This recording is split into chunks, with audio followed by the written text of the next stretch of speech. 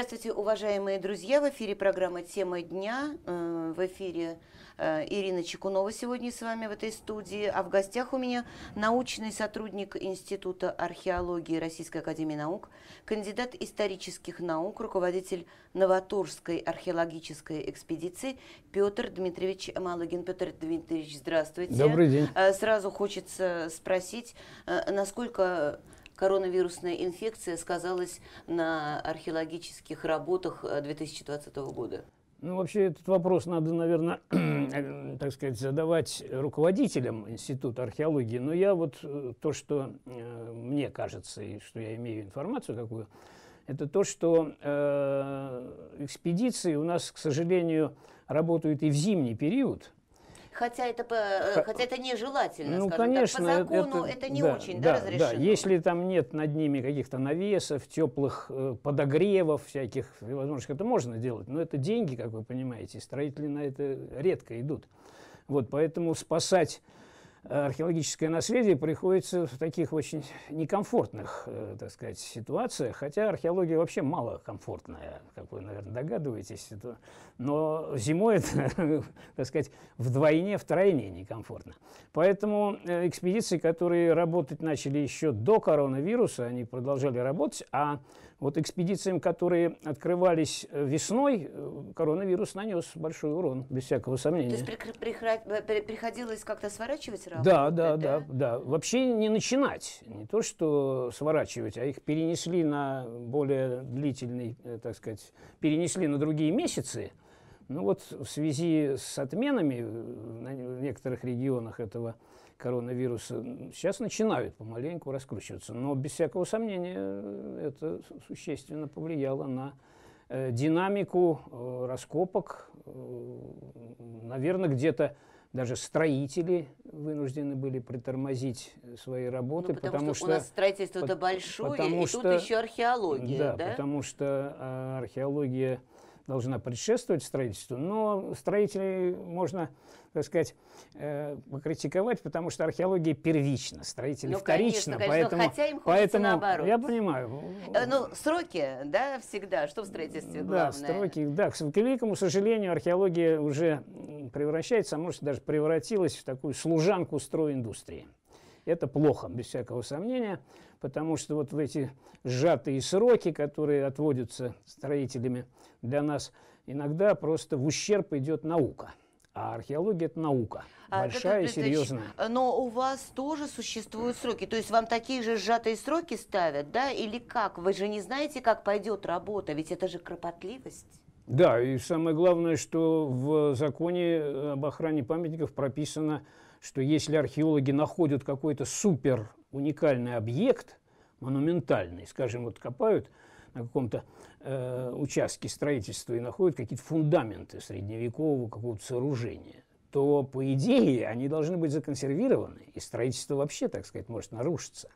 Но это, это, это той же строительной отрасли, это, конечно же, в ущерб, да, они, наверное, Ну, это форс-мажоры, конечно, конфликт. это форс-мажоры, но почему-то строители об этом забывают, когда подгоняют археологов э, копать, То копать, есть буквально, копать. Нужно, э, буквально стоят над душой? Ну, иногда да, просто иногда это доходит до каких-то таких, значит, э, непонимания, скажем так взаимонепонимание. А как, а как понять, что мы находимся на месте археологической, э, э, археологической какой-то исторической находки, когда вот начинается строительство? Как? Если там, допустим, ничего не было да, несколько веков назад, а вдруг было, э, то есть сначала проводится разведка? Да. Это она предшествует?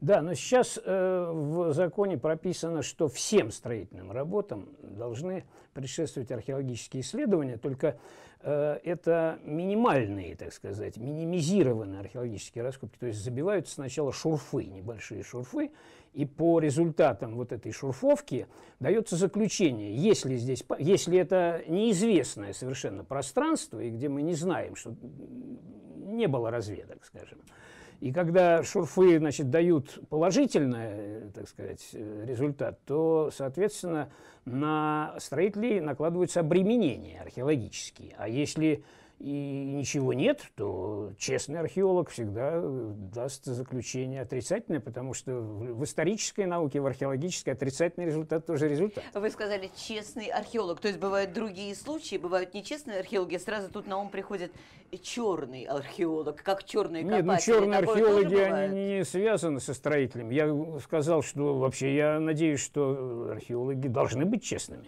Ну да, надежда есть да, такая, да, да что... конечно. А, вы сказали, каждому строительству предшествует такая работа. Да. У нас в таком случае, у нас Тверь, какое сейчас огромное строительство ведется. Нет, а хватает стро... археологов да. на, на все нет, эти работы? Нет, не хватает. И в Твери совсем другая ситуация. В исторических городах существуют охранные археологические зоны. Соответственно, если строительство попадает внутрь вот этой границы, то там э, археология обязательно, так сказать, автоматически. Поэтому никаких шурфовок там не, не надо делать, э, а надо просто исследовать археологически. Другое дело, что э, границы и площади охранных археологических зон могут быть завышены. Вот ага. мне кажется, я был разработчиком первых охранных археологических зон Твери. Вот. И мне кажется, что нынешние охранные зоны Твери завышены. А к чему, что это влечет, завышение вот этой вот зоны? Это дополнительное вложение денежное? Это как-то что-то? Это выгодно кому-то, чтобы эти границы были завышены? Нет, это, это просто разные концепции подхода. Когда мы работали над охранными зонами, коммерции такой вот, как вы предполагаете, не было. Там была действительно наука. Некоторые считали, что надо по минимуму сделать, то есть э, охватить границей археологии э, заведомо ясные, совершенно четкие, там, скажем, средневековые кварталы, которые под землей лежат. Это э, восстанавливается по песцовым книгам, по старым планам и прочее. Но время не стоит на месте, и в законе новом об охране памятников прописано, что археология начинается уже сто лет тому назад. Да, да, да. И это вот для меня это, конечно, несколько, так сказать, э, проблематично. С этим можно спорить, но закон есть закон. То есть, если мы пишемся с вами в 2020 году, то археология у нас начинается в 1920? Ну, получается, что так. Это то, что начало, начало 20 века, да? да? Вы за то, чтобы это было более, да, вглубь времен? Я думаю, что тут нужна такая, э, такая мощная, серьезная научная экспертиза. Если, например, э, квартал, который подраз, э, подразумевает строительство какое-то массированное, значит, входит э, в зону застройки, скажем, Твери только 20 века или конца 19 века, то здесь может, и оно э, обеспечено документально, там, скажем, есть э, планы, есть значит, э, какие-то э, письменные источники, и они достаточны, как покажется вот специалистам, то мне кажется, что тут можно как-то провести, у нас ведь есть археологические раскопки, есть археологические наблюдения. Наблюдение – это несколько щадящий такой э, режим, для. То есть они убыстренные, э, действительно там упрощенный вариант.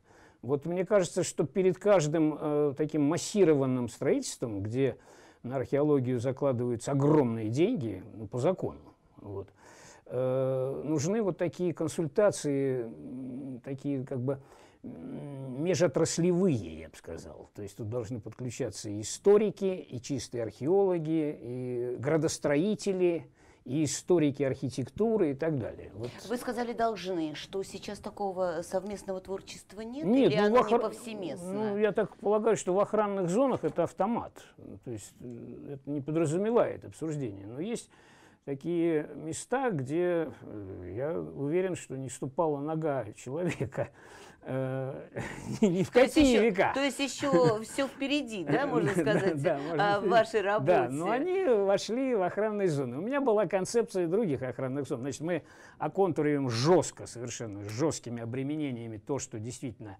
археологически, а э, такие, скажем, пригородные слободы или села делаем пятнами, то есть не объединяем их в единый контур. Чтобы не, не раскапывать да, все да, повсеместно. Да, а делаем такие вот локальные, так сказать, э, границы каждого такого выявленного поселения. Вот. Ну, я не знаю, меня уверяют, что лучше, так сказать, э, по максимуму сработать, то есть э, перестраховаться и все соединить вместе, но я считаю, что это не совсем научно, мне кажется. Давайте мы сейчас прервемся на небольшую рекламу, буквально несколько минут, не переключайтесь, и мы снова, и мы снова в эфире программы «Тема дня».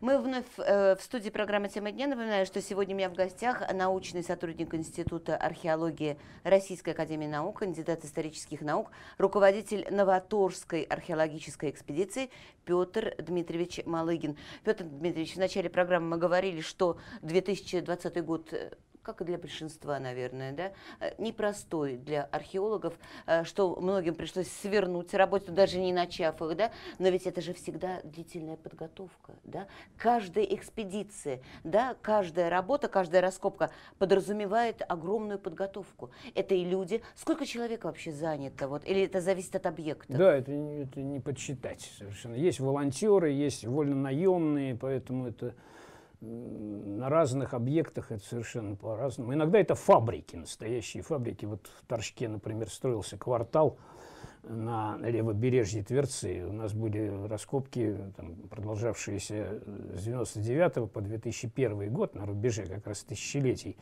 Там это было действительно похоже на какое-то производство, которое вот три года работало. Ну, правда, с, с перерывами на зиму мы не копали зимой, потому что там шли берестяные грамоты, это уникальный это слой. Это то, что вообще может просто, просто очень, э, может просто растаять в руках. Нет, просто зимой да? это не Но взять, зимой, да. это же слякоть, э, грязь и прочее, нужны соответствующие условия. Хорошо, если не мороз, как, э, если, не, а если, мороз, если не мороз, как это было отсутствие мороза да, зимой да, 2020 да, года. Да, да, да, зимы у нас теперь пошли пошли плохие, слякотные, так скажем. Э, то есть это как я сравниваю, наверное, подготовку, как вот мы, походники, готовимся к походу, собирая рюкзак, это, целый, это целая наука, это, это рюкзак одного человека. А здесь же э, даже ну, задействовано, наверное, больше, наверное, 50, а то и 100 человек, да, бывает в этих работах? Да, конечно, бывает и больше. Кстати, как кто допускается? Вот вы кто, кто принимает участие непосредственно в раскопках? Ведь это настолько индивидуально, настолько страшно что-либо испортить с того времени. Ну, вы знаете, к сожалению, э, Россия вот в гуманитарном отношении, это мое, так сказать, сугубо личное мнение, стоит на очень низком уровне. Э, вот э, вспомним Дмитрия Сергеевича Лихачева, великого человека, который говорил, что если у нас 21 век в России не будет гуманитарной, то России, в России будут огромные проблемы. Как вы понимаете, у нас технологии побеждают, а вот и Дмитрий Сергеевич помаленьку забывают, и вот эти его такие пророческие слова. Вот. Я могу привести пример, скажем, английских археологов, э, когда они копали до событий там, в Ираке, Междуречье, да, Месопотамии. Э, когда, э, ну, они копают там круглый год, соответственно, климат совсем другой, но там есть селения, э, которые ничем не занимаются, кроме как раскопками. То есть это профессиональные землекупы. Причем это, так сказать, умение копать археологически передается из поколения в поколение. Это еще с 19 века идет такая традиция, понимаете? Ну, это как умели, да, вести, вести, э, сажать огород, да, или пасти скот, или строить дома. Каждый да, специалист да, да. в чем-то. А да? здесь вот специалисты, э, землекопы, профессиональные землекопы, которые... Можно сказать, что это, это градообразующие, как сейчас модно говорить, да, градообразующая работа.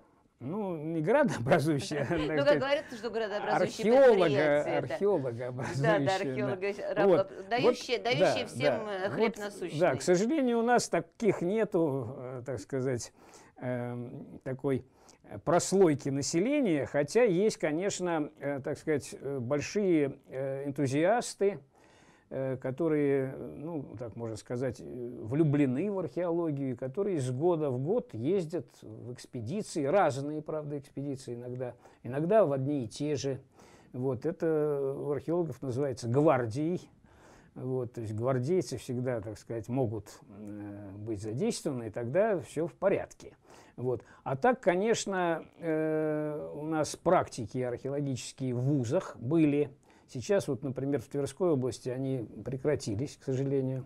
Финансирование практик. Э, это же разъезды, питание. Иногда это не в Твери, а в Торжке у меня были много лет практики студенческие. А у конкретных будущих специальностей конкретные кафедры? Нет, у нас нет? нет кафедры археологии. Это просто археолого-этнографическая практика, просто которая практика, в учебном да? процессе. Может быть, э, кто заложена. угодно потом человек, да, по образованию, Но он выходит из этого университета? Он может быть, э, ну, в дипломе написано историк да. и преподаватель истории, но чаще мы видим выпускников, там, скажем, в магазинах электроники или даже в винных супермаркетах. Поэтому... Ну, такова Жи- жизнь. да. А, но, кстати, я помню времена, когда на время летних школьных каникул школьники могли да, подрабатывать. Вот я, да, Были же раз, такие Разумеется, времена. да. Но тут тоже всякие обременения, что до 14 лет нельзя, разрешение родителей. Все, конечно, тут гзоты строго следят.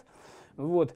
Э, и вот из этих школьников иногда вырастают интересные ребята, идут на исторические факультеты и становятся археологами. То есть э, пришли в археологию, что называется, от земли, да? Э, но ведь их кто-то учит, есть наставник, который да, показывает, который проверяет, да, как они работают, нет, потому что здесь накопать-то можно много Нет, ну чего. конечно, ну что вы. На каждом участке раскопа стоит так называемый участковый, который является так сказать, наблюдателем. Слушайте, это такая иерархия вообще. Ну, разумеется, конечно. Есть начальник, научный руководитель, начальник раскопа, участковые, есть э, заведующий камеральной обработкой, то есть теми находками, которые поступают уже в стены лаборатории из раскопа. Это, я говорю, что это такой фабрика, это производство серьезное, научное, правда, производство. Вы сколько лет уже в археологии? Ну, первый открытый лист я получил в 79 году, в 1979 году. Много, много. По-вашему, кардинально что-то изменилось за эти 40 лет? Да, конечно. Что, что, что вот такое, вот, на ваш взгляд, положительное, а что самое хорошее ушло, возможно, на ваш взгляд? Ну, ушло, к сожалению, я не сторонник, так сказать, э, застойного периода, и я не ностальгирую по СССР, но поддержка государства вот в те годы археологии была несоизмерима с нынешней вообще практически отсутствующей. Э, поддержка. А где же брать деньги тогда? Ведь это же большие деньги, на самом деле, на все, на то, что вы только рассказали сейчас. А это отношение государства к э, культурному наследию, неотделимой частью которого является археологическое наследие. Это, так сказать, э, как государство себя ведет, понимаете? Если она воспринимает археологию как значит, наследие ценнейшее среди культурного наследия, она ему помогает. Вот в Англии, например, в той же, я все педалирую, я вообще, так сказать, в душе англоман и в литературном отношении. Вот. Значит, там есть э, королевское общество, которое вообще курирует археологию. У нее есть фонд, который поддерживает э, уникальные раскопки или какие-то вот э, форс-мажорные, то есть необходимо, там, скажем, в аварийной ситуации раскопать тщательно. Это все нормально. То есть отношение государства вот к этой гуманитарной, хотя археология не очень гуманитарная, но она входит, так сказать, в состав вот этого культурного наследия, вот оно уходит, если почти не ушло. Ну, если оно уйдет, что тогда, к чему мы придем? Нет, ну мы придем к полной коммерции. То есть археологи будут рыскать, где чего строят, и сразу же по закону заключать договоры. Ну вот она, та самая черная археология, которую я уже упоминала. Нет, Чем это, разница, это, нет? Нет, это не черная археология. Черные археологи не заключают ни с кем договоры. Они договоры заключают сами с собой. Покупают детекторы и идут грабить э, курганы без всяких У нас научных... они есть? Есть, наверное, это, это, это страшная проблема общероссийская и в нашей области жуткая проблема, абсолютно жуткая проблема. Если они ищут сами по себе, если они на... и находят они, кстати? Ну, к сожалению, многое, большая информация археологическая, она, так сказать, э, известна. Есть э, своды археологических памятников. Это любой, так сказать, э, человек с образованием может открыть этот том, скажем, по Тверской губернии увидеть карту, где что сидит. Но сейчас уже чистят уже заброшенные деревни просто-напросто. Вот, там уже идут пятаки, там, скажем, 19-20 века вход этим черно, если, если они ищут э, и находят, значит, есть спрос на это? Значит, есть черный рынок, да, можно продать ну, и продать есть, задорого. Есть гигантский черный рынок, причем с, э, разбитый на такие сферы.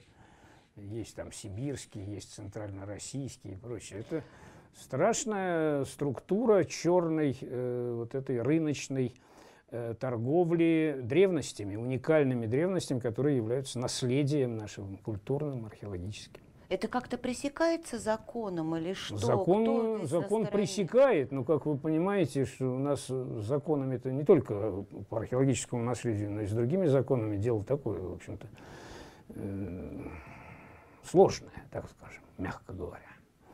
Э, ну, сейчас, если вы говорите, что наступило время коммерции, ну, это печально, конечно. Конечно, печально. А, если многие сейчас спросят, те, кто нас, э, не многие, но некоторые наверняка зададут такой вопрос, да зачем нужна эта археология?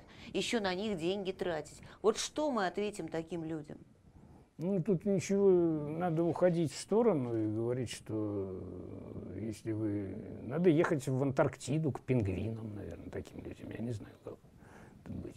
Просто человек, который... Э, это, понимаете, это проблема э, отношения к земле вообще, вот по большому счету. Археология – это ведь тоже земля, правильно? Культурный слой. Вот. Это отношение к земле. Я думаю, что э, это отношение в нашей стране специфическое по сравнению с другими. Почему? Потому что у нас гигантские просторы. Абсолютно. Земли много. Мы привыкли к тому, что да, вот здесь земля и все значит, касающееся культурного наследия, оно как бы уходит на какой-то там второй, третий, четвертый план. Вот, а, скажем, в той же Голландии или там в той же Англии островной, да, все это понимается нацией. Там ценно каждый все, кусочек, конечно, каждый сантиметр. Да, конечно. Как и обрабатывается тоже все по-другому. Да, У нас вон да, какие поля да. зарастают. Да, но все-таки среди вот этих бескрайних просторов есть уникальные совершенно центры – Э, и в нашей области есть уникальные те же города, та же Тверь, тот же Торжок, Торопец, вот, Старица, Кашин, интереснейшие города, э, которые э, значит, должны просто-напросто в сознании главных архитек архитекторов этих городов, так сказать, быть прежде всего памятниками. Вот я считаю, что, например, вот я в Торжке копаю 79 -го года, я считаю, что археологический торжок перебивает всю экономическую составляющую города, даже Пушкина перебивает, потому что это, например, у нас коллекция берестяных грамот третья в мире по количеству, уникальные совершенно находки. У нас есть каменная башня XIV века. Нигде Кремля с каменными башнями вот, в центральной России между, там, скажем, Москвой и Новгородом нету. Вот, у нас есть каменный домонгольский храм, плинфиной такой, из кирпича домонгольского построения. Тоже единственном просторе от Ростова Великого до Новгорода. Понимаете? И если вот это, это все опубликовано, это все сто раз э, писалось, и научно-популярно, и чисто научно, делались доклады. Я э, каждому новому меру и архитектору приходил с лекцией, рассказывал, что такое торжок, потому что я знал, что если не рассказать, то начнутся чудеса в решете. Вот. Поэтому вот это э, осознание, э, прежде всего, чиновниками, от которых зависит, э, так сказать, жизнь города, оно первостатейно, первостепенно. Но этого, так сказать, нету, к сожалению. Ну вот я слушаю вас, вы говорите, это же, это же нужно с, с каждой такой новостью носиться и делать из нее имя, из каждого, да? Это надо, чтобы это, ну, в конце концов, э, не только имя, почет, уважение, но и э, деньги под это какие-то. Ну, вот чтобы, вам... чтобы люди лучше жили, и, и живя на такой земле-то. Ну вот я К чему? И говорю, что э, гуманитарная составляющая уходит в небытие, а Россия всегда была гуманитарной, если бы так сказать. Русская душа, да. Ну, конечно, и вообще у нас всегда доминировало что-то такое действительно душевное, духовное, вот, а не компьютерное или что-нибудь еще такое технологическое. Обидно, конечно, что вот так поставлено дело. Я хотела спросить относительно ошибок археологов, на что, на чем они могут отразиться? Э, какая-то небрежность в работе, что-то пропустить, что-то не доглядеть. Как это потом скажется на нашей с вами жизни, на нашей истории? Ну, профессиональный археолог не может допускать ошибок, я считаю, вообще. Как сапер? Конечно, это ответственность колоссальная, без всякого сомнения, потому что восстановить то, что он раскопал, невозможно. То есть все это уходит, так сказать, в небытие, в смысле, э, так сказать, объекта. в, небытие, в музее уходят находки, но сам памятник уже на этом участке его нет. Он раскопан до материка, понимаете, да? Это считаете, что слой, да, вот какой-то ушел, это как будто это несколько поколений человеческой жизни наших предков. Десятки, ушли. десятки поколений. Ушли, мы о них уже ничего не узнаем, да? Нет, мы узнаем, поскольку археология точная наука, она значит, в профессиональных руках, она без всякого сомнения дает колоссальный материал – вот, и вот институт, который я представляю, он действительно э, в нем сотрудники профессионалы, без всякого сомнения. И здесь э, насчет археологических ошибок археологами говорить не приходится, честно говоря.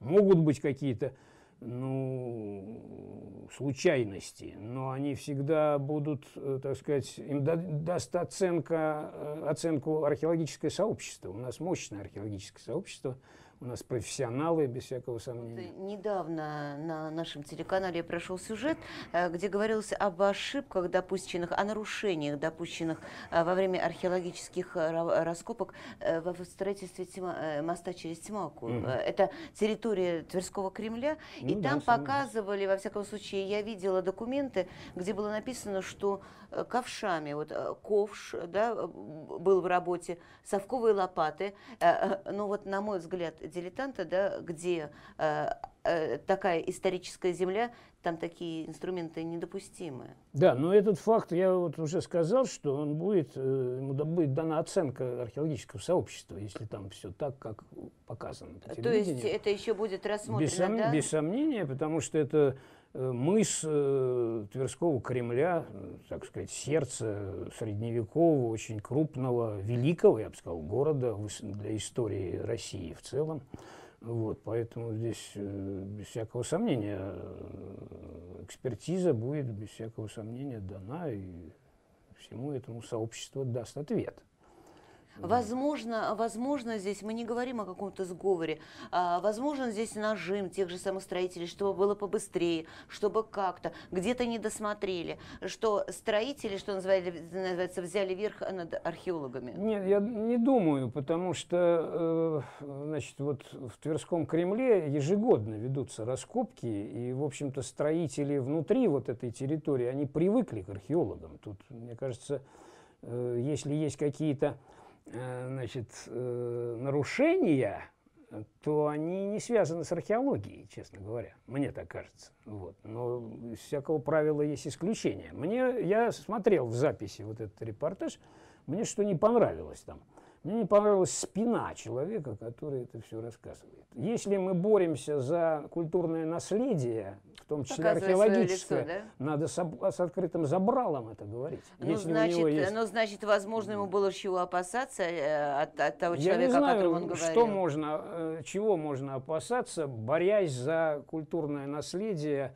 центральной части археологической большого областного города. Я не понимаю. Вот э, и здесь, конечно, есть такой очень нюанс один.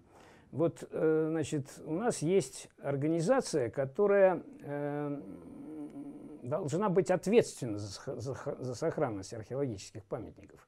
Это инспекция. Вот. И э, вот э, это наследие прошлого, к сожалению, не нынешнего руководства. Я не знаю нынешнее руководство, в общем. Э, наследие вот какое, э, не очень хорошее. Э, значит, когда вот чиновник, который ответственен за охрану памятников археологии, видит свое бессилие, а у нас территория 84 тысячи квадратных километров, 6, памят... 6 тысяч памятников археологии, 36 районов на гигантской территории – понятно, что это невозможно, так сказать, уследить. Вот. Он начинает что делать, как вы думаете, чиновник? Вот, если он не может бороться с черными копателями, ну, с, тогда кем к ним он присоединяется или присоединяется к ним, нет? Нет, он, я не знаю, может потом он присоединится к ним, может но, но начинает он с того, что он начинает бороться с археологами. Понимаете? Это э, совершенно э, ненормальная старая традиция, заложенная многие годы назад. Вот. Э, к сожалению, вот э, управление культурой очень много сделало ошибочного, на мой взгляд. Вот э, гигантская территория – это Австрия или остров Ирландия. Вот наша территория точно совпадает с площадью Австрии или Ирландии. Значит, раньше был очень хороший такой, такая практика, когда в крупнейших исторических центрах области от э, вот этого управления или инспекции сидели инспекторы в Торжке. Я знаю, инспектор был Потом э, эти инспекторы превратились в таких кустовых инспекторов. То есть, например, Торжокский инспектор стал э, заведовать и, Осташковым. Межрайонным. Да, ну, да, это как э, у нас да, в правоохранительных да, структурах да, да. А потом, вот недавно, э, это, этот институт вообще ликвидировали. Как это можно, э, я не понимаю. Как можно э, в области с шестью тысячами памятников археологии ликвидировать институт э, инспекторов по историко-культурному наследию на местах. Это просто, вот я не понимаю, как это может быть. Я могу, э, так сказать, объяснить, что это опять финансирование, понимаете, проклятая деньга, она действует везде. То есть бюджет не позволяет ну, управлению, всего. да. Но это же сразу же отдача какая. Вот в прошлом году в Торжке, э, где уже нет инспектора, было уничтожено несколько тысяч квадратных метров культурного слоя. Так это же, в центре это Ташка. же преступление. Да, да, преступление. Туда приезжали э, серьезные чиновники, но они ничего не могли сделать. То есть, понимаете, происходит какой-то совершенно э, странный такой вот парадокс, когда инспекция не может э, совладать вот с этими строителями и с проектами, которые, значит, вот вроде бы делают пользу городу, благоустройство города, но под этим благоустройством лежит культурный слой. Причем в Торжке берестяные грамоты и прочее. Это известнейший центр археологии в Европе, Торжок. Вот. Э, но э, бессильны были инспекторы, которые приезжали. Мы их вызывали, они ходили, но работы продолжались. Вот что это такое? Как, не, ну как это? А вот так это. А как это можно, по-вашему, изменить-то? Я думаю, тут опять деньга. Все упирается конечно, в эти Конечно, деньги. то есть надо было освоить до какого-то числа деньги по благоустройству торжка, мне кажется. Ну, это как когда у нас, э, помните, асфальт кладут ну, перед да, Новым годом да, наверное, и в снег, и в да, дождь, да. А потому что надо срочно да, освоить, деньги да, пришли. Да, да. Порочная практика. Да. И здесь тоже самое. Ну, мы, и мы тут еще с вами говорим о том, что нельзя вести работы зимой, о том, что нельзя так, нельзя. Когда по большому-то счету. Да, это ужасно. То же самое произошло в Старице, тоже в связи с благоустройством города. В этот же период, вот летом прошлого года. Вот. Э, там, правда, в Торжке произошла смена меров. Это, конечно, не мое дело, но, может быть, как-то вот в связи с этим что-то такое не доглядели городские власти. Но я был свидетелем бессилия инспекции, которые вот... А, ну, а каждый я уви... выполняет, ну, смена, смена руководства, это понятно, но ведь каждый на месте выполняет свою работу. Я да? не знаю, как это оценить, как это может быть. По идее, инспектор, э, э, который ведает историко-культурным наследием, должен прекращать работы. И так было всегда. Если он видит нарушение, он говорит, извините, все, мы останавливаем земляные работы, без археологии здесь делать невозможно ничего. Вот. И строители слушались. А вот в прошлом году произошли совершенно вопиющие события в Торжке, которые я просто... Я входил год, так сказать, в, в таком состоянии угрюмости, потому что я понял, что э, администрация города – перестала понимать Торжок как исторический город. Просто-напросто, понимаете? И это страшно печально. Петр Дмитриевич, но существует не только администрация города, у нас существует правительство области, у нас существует правительство повыше ну, всей я России, говорю, ну, что наверное, да, каким-то инспекция входит в состав администрации области. Но, И но они оказались, они оказались бессильны перед вот этой стройиндустрией или чем там, я не знаю. Или вот этими проектами по благоустройству города. Ведь там придумывает э, один из чиновников высший, да, он же не знает, что Торжок исторический город. Наверняка вы ну, догадываетесь, кто это чиновник, это понятно. А, да, здесь, а, кстати, сообщество археологов э, большое у вас. Вы можете как-то вместе, собравшись, повлиять на ситуацию? Да мы влияли. Вы, вы не как лебедь, рак и щука, да нет, вы в одном направлении. Да нет, в охране памятников, конечно, без всякого сомнения, в охране культурного слоя мы едины. Вот, у нас есть лебедь, рак и щука в научных некоторых соображениях, но ну, это не без этого. Ну, наверное, дискуссии. это естественно, да? Да, это, это наверное... абсолютно, да, концепции свои, концепции, они да, иногда диаметрально противоположные, но это наука. Э, в любой науке такое происходит. Вот. А за культурный слой мы, конечно, боремся, что называется, на смерть. Но вот понимаете, какие ситуации? Ну, вы назвали уже вот два примера, да, где гарантия, что потом это не перерастет в практику? Да это вот самое страшное, вот почему я очень был удручен вот этими событиями в Торжке, в Старице, потому что это прецедент, и все. Пойдут частники, скажут, а вот там вот у вас, что ж вы там, какие археологи у меня там, значит, я строю новый коттедж на историческом культурном слое, а вот э, там в центре города разворотили все без всякой археологии, я вас, да. извините. И он, это, это, и, это где угодно. Это, это страшная быть. вещь. А у нас в России это может быть действительно стать практикой такой, порочной практикой. Ну, может быть, мы э, еще раз обратим внимание руководителя нашей Тверской губернии на эту проблему. Может быть, нас услышит? Конечно. Ну, во-первых, надо без всякого сомнения э, любыми, любой ценой вернуть вот этот институт э, инспекторов э, историко-культурного наследия на местах никаких не кустовых. У нас 15 исторических городов, и я считаю, что ну, почти во всех 15, крупных лучше брать, конечно, таких исторических городах, э, должны быть инспектора от этой вот э, инспекции областной. И я помню, у нас был в Торчке такой инспектор, господин Афанасьев, и у нас был контакт, и нарушений было, подобных нарушений не было бы, если у нас был бы в Торжке инспектор. Без всякого сомнения он бы э, в колокола во все, так сказать, бил бы, мне кажется. Но будем считать нашу программу обращением, потому что это действительно да, то, что конечно, вы рассказали. Это, проблема. это не то, что неприятно, это страшно. Да.